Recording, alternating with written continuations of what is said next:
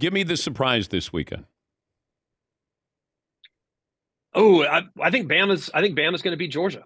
Uh, I, I really do. I think they match up really well, and Georgia is excellent. They're really good, and they have an elite quarterback. And Dan, you'll be talking about this guy for a long time. Carson Beck's going to make a lot of money at the next level.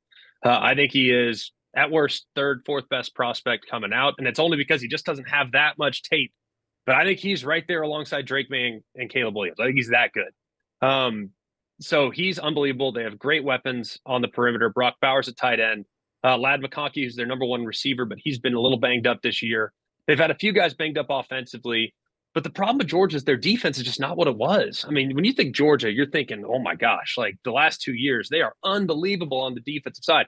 They've been gassed for 200 multiple times on the ground this year. Yeah. Auburn did it. Bama has elite speed and good and good offensive line, a quarterback that can really hurt you. Georgia's 112th in the country on yards given up on zone reads, which is nuts to me. A Georgia defense giving up six yards per carry on zone read. That's nuts. So I think Bama actually matches up really well. And Georgia now is riding a 29 game win streak. And, and I think it might come to an end on Saturday afternoon. You played for Nick Saban. What kind of pep talk do you think he'll have coming up this weekend? well, when I was playing, you know, you, you, we've been doing the show together for. Well, I've been on your a guest with you guys for 14 years. I would have probably gotten something along the lines of "Don't screw it up." Uh, that would have been the that would have been the message to me at, at quarterback. So there's was, no rah rah. There. there. there's no you know fire and brimstone. Win one for the Gipper. Well, I'd love to tell you that there was. He's kind of the same guy. Every and that's why I think the team is so steady. He doesn't ramp it up for for specific games. I mean, what you what you get when you're playing Chattanooga is the same as what you'll get from Arkansas, is the same as what you'll get in the pregame leading up to Georgia. Um, everyone else, like he doesn't need to energize his team. Like he knows how to press the buttons. If anything, he wants to kind of bring them down a little bit because they're probably going to be on edge. Yeah. The biggest game they've had all year. It's probably going to be a little ramped up, maybe a little emotional.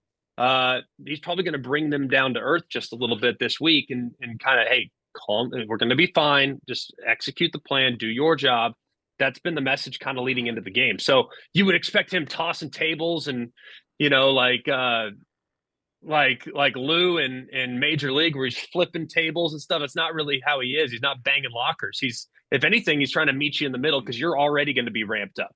So he's I think he's the best at, at what he does and being able to kind of keep things consistent. And that's why his team has performed so beautifully in games like this. He's 10 and 1 in SEC championship games in his career. 10 and 1, which is really insane. I just can't imagine your coach as you're getting ready to go out, play for a national championship. Hey, uh, hey, McElroy, don't screw it up. All right, let's go get yeah. it. That, that pretty much. Yeah, yeah. yeah. hey, I'll be honest with you. If I were in his shoes, I would have probably said the same thing.